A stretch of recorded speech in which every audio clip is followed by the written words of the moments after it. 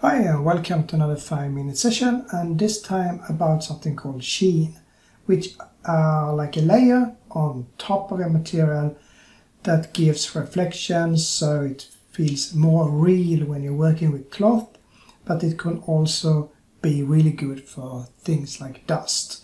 And to show it I needed some objects so I just quickly made some sofa here so quality is not that high, it's just that we need to have something here.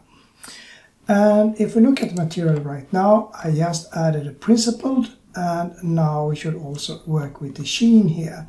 But before that, I would like to have some bumps and I can use a magic texture for that one. So I press Shift A, go to input a texture coordinate so we have something. And then we use the magic texture, so Shift A, texture, magic texture. And we can take the scale really high up, like 200 or something. Uh, use the object, and then I need a bump map. So Shift A, vector, and a bump. And I take the factor to the height and the normal to the normal.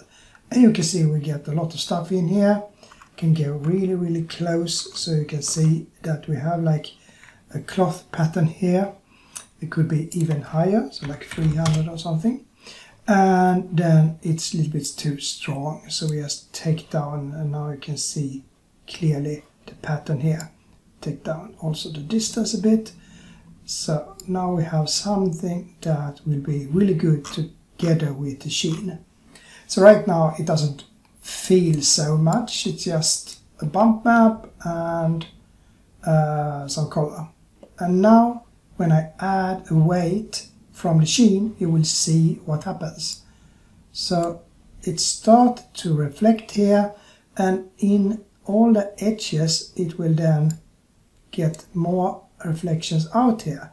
So it's almost like uh, some type of Fresnel effect on top of your material where you get this reflection here and then you get this soft look of your cloth. So it's almost like velvet and you can then use tint here to add whatever extra tint color that you need to your material. And if I take the weight all the way up here, you then get this smooth cloth, cloth feeling. But everything depends really much on roughness. So with the low roughness, it's more like small shiny particles like in, in like snow or something like that can take this to be really white first so you see it.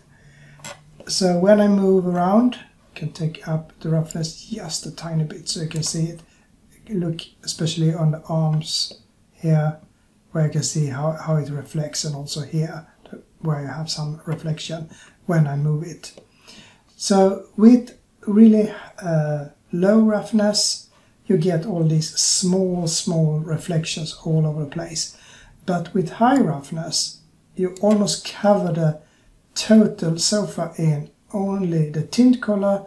And with high roughness this is really good for dust because that adds a small extra layer on top of the material that really really looks like dust.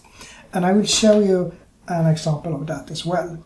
So we can keep this but I can do some dust as well. And then I use my uh, texture coordinate, but I use the normal. So from the normal, I separate X, Y, Z, and then I can use the Z to control the weight, and then you can see now that we get everything on the top and everything looks good.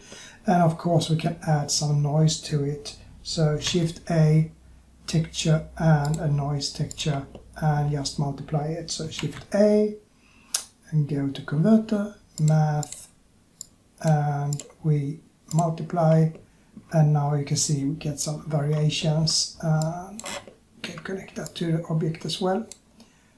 So now we have some variations in our dust here and it looks like a really old sofa. So it's really good to use for dust as well, but then you should have high roughness and when you then take it down it gets you can still use it as roughness but if you go like low like this it's uh, not so much as dust it's uh, more like as I said before crystals in snow or something like that.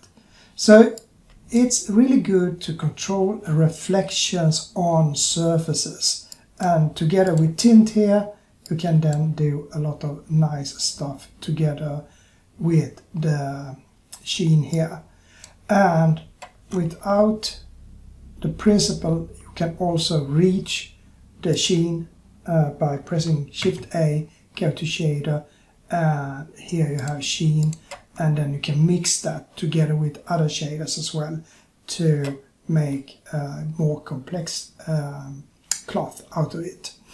But now you have some introduction to Sheen and know a little bit about what it is. So I say bye for now and see you tomorrow.